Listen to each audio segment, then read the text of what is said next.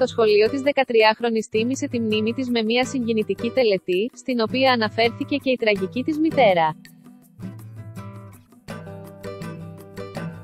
σχεδόν δύο εβδομάδες από τον τραγικό θάνατο του Κόμπι Μπράιαντ, της 13χρονης κόρης του, Διάννα και άλλων 7 ανθρώπων, η σύζυγος του Άσου του Νιβίτα Αλφα και μητέρα της άτυχης έφηβης προσπαθεί να συνέλθει από το σοκ της απώλειάς τους.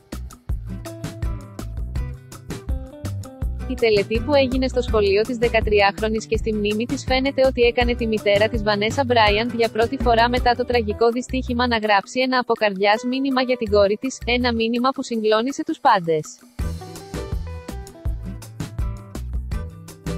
Διάνα μου, Θεέ μου, μου λείπεις, ήμουν τόσο τυχερή που αξιωνόμουν επί 13